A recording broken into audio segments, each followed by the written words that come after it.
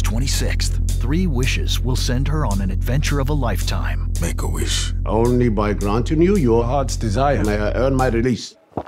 He'll be staying for a while. Hello. Hello. Critics are saying George Miller's first movie since Mad Max Fury Road is a wish come true. This is a story of a woman and she encounters a genie. The problem is she knows that all stories about wishing are cautionary tales. I'm beginning to think I'm in the presence of a trickster. It's Aladdin for adults. A different kind of blockbuster. Shut your cake hole.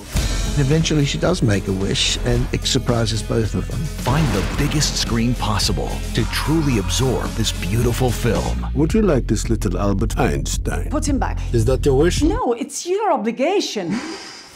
3,000 Years of Longing. Rated R. Playing only in movie theaters August 26th. Tickets on sale now.